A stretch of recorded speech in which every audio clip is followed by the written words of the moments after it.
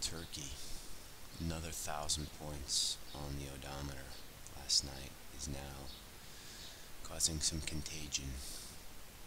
Euro yen got smashed and will continue to get smashed today. 129.50 is now the neckline of this double top from yesterday. Um, the market is much less short after this movement up to 132.35. Dollar turkey's at 477. Uh, the high was 480 last night. This is going to spook a lot of people.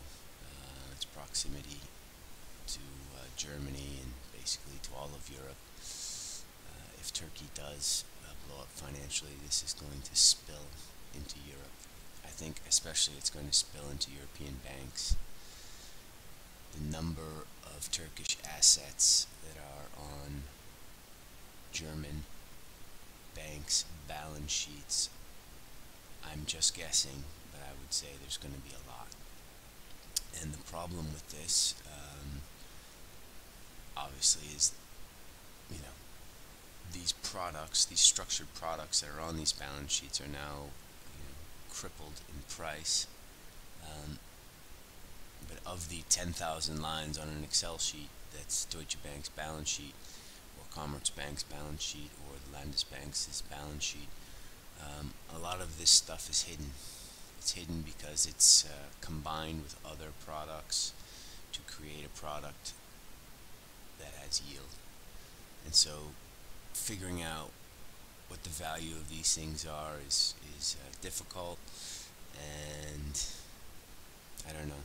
This is bad. This is bad for German banks, European banks, Middle Eastern banks, uh, anyone who's got Turkish uh, horse shit on their balance sheet, which, uh, in my opinion, is a lot of banks in the world. So this should continue. We're expecting more contagion.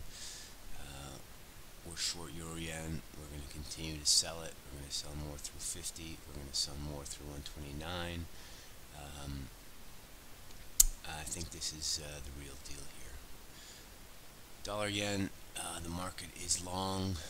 We're at this pivot here, 110.37, uh, with the low last night. I'm on the fence here, um, whether we can smash dollar yen or not. Probably can. Um, this may be more of a gentle, uh, a gentle sell, because if euro dollar uh, gets smashed, there will be some uh, support for the dollar in general and the dollar index, and, and of course the yields are at 305. So dollar yen may be less likely to get pounded. Elsewhere, uh, just take a look at any of the yen crosses. Uh, Aussie yen smoked, sterling yen obliterated, CAD yen. Wow. CAD yen went up to the 200 day yesterday. You could sell CAD yen. I don't know why you would uh, with Turkey blowing up, but look at this up move in CAD yen right up to the 200 day. Uh, gentle fade in CAD yen. Maybe sell some high ones, 86.10, 86.20. Uh, might be a play. As far as other contagion trades, dollar ZAR comes to mind. Uh, we broke the 200 day. Everyone got stopped out yesterday uh, all of dollar EMS is smoked. We expect 1290 to break uh, maybe today. Early bird special, maybe buy some dollar ZAR.